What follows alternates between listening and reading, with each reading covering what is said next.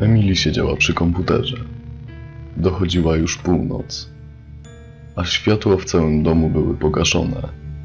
Nic więc dziwnego, że trochę się bała tak siedzieć przy biurku.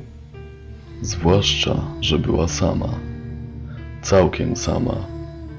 Zaczęła szukać towarzystwa na jednym z czatów. Nie było wielu ludzi, z którymi można by było poprowadzić rozmowy, ale mimo tego dziewczynie zrobiło się jakoś lepiej, gdy mogła odciągnąć myśli od otaczającej ją ciemności. Nagle przeglądarka wyłączyła się. Co do... Przeleciało jej przez myśl, ale już przy pierwszej próbie ponownego odtworzenia przeglądarki udało się jej, więc od razu zrobiła się spokojniejsza. Na czacie nikogo już nie było, przynajmniej tak jej się wydawało. Jednak w pewnej chwili otrzymała prywatną wiadomość. Johnny 93 Hej, jestem John. Mam 16 lat i mieszkam w Chicago. Napisz mi coś o sobie. Dziewczyna szczerze ucieszyła się, że pisze do niej chłopak w jej wieku i w dodatku mieszkający w tym samym mieście co ona. Nie chciała się przyznać przed samą sobą, ale od zawsze marzyła o miłości jak z filmów. Chłopak pisze do dziewczyny na czacie, potem umawiają się na spotkanie i zostają ze sobą na zawsze. To idiotyczne. Mówiła sama do siebie, zawsze gdy nachodziły ją takie myśli. Emily tak pogrążyła się we własnym świecie marzeń, że całkiem zapomniała o wiadomości, którą dostała przed chwilą. Johnny 93 Interesuje się sportem i motoryzacją. Uwielbiam muzykę rockową. Proszę, napisz mi coś o sobie. Dźwięk wiadomości wyrwał ją z zamyślenia. Zaczęła odpisywać, ale w tym samym momencie przyszła kolejna wiadomość. Michael 95 Cześć, mam na imię Michael. Mam 14 lat i mieszkam w Dallas. Napisz mi coś o sobie. Ech, Dallas, w dodatku młodszy, odpada. Emily nawet nie zorientowała się, że zaczęła już myśleć tylko o tym, żeby poznać kogoś, z kim mogłaby wiązać jakieś nadzieje. Od razu zamknęła okno rozmowy i znów skupiła się na odpisywaniu Johnemu, który zdążył już ponownie napisać. Johnny 93 Uwielbiam długie spacery, jednak bardzo boję się ciemności i nie lubię być sam w domu. Błagam, napisz mi coś o sobie. Chłopak jest jakiś dziwny. Przemknęło jej przez myśl.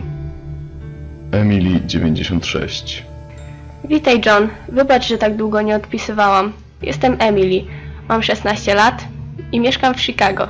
Interesuję się modą, tak samo jak ty uwielbiam rocka i długie spacery. W tym momencie jej komputer się wyłączył. Krótki zanik prądu. Po ponownym jego uruchomieniu na ekranie pojawiła się kolumna ników. David 91 Sara 92 Johnny 93 Emma 94 Michael 95 Po kilkunastu sekundach kolumna zniknęła, a jej miejsce zajął napis Witaj Emily 96 Napisz nam coś o sobie. Po tym komputer ponownie zgasł i w pokoju zapanowała nieznośna ciemność. Emily chciała ją przerwać, więc czym prędzej dobiegła do ściany, by poszukać włącznika. Jednak światło także nie działało. Cholera! Powiedziała sama do siebie, prawdopodobnie tylko dlatego, że cisza w domu ją dobijała. Napisz nam coś o sobie. Usłyszała nagle szept. Kto to powiedział? Wrzasnęła. W odpowiedzi usłyszała tylko kolejne głosy szepczące to zdanie, które tak bardzo ją wkurwiało. W tej chwili poczuła, jak kilka par lodowatych rąk dotyka jej ramion, szyi i twarzy.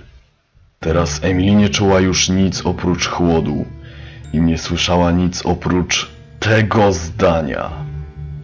Rano rodzice znaleźli ciało swojej ukochanej córki na podłodze w pokoju. Rękę nadal miała na ścianie, jakby próbowała zapalić światło. Gdy przyjechała policja, funkcjonariusze odkryli, że w ustach dziewczyny znajduje się zmięta kartka papieru. Postanowili ją odwinąć. Widniało na niej tylko kilka wyrazów, które w żaden sposób nie mogło im pomóc. Witaj, jestem Emily. Mam 16 lat i mieszkam w Chicago. Napisz mi coś o sobie. Policjantom udało się ustalić tylko jedną rzecz. W ciągu ostatnich paru lat prowadzone były sprawy, które także były rozpoczynane znalezieniem zwłok nastolatka. Jedyną rzeczą łączącą wszystkie te morderstwa była kartka wciśnięta w gardło ofiary. Na każdej z nich było napisane tylko jedno zdanie. Teraz, gdy już to przeczytałeś, mogę zrobić tylko jedno. Ostrzegam cię!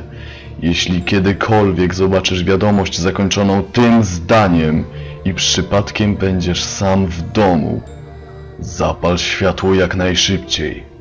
Może tobie się uda. Ja jestem Nathan i mam 16 lat.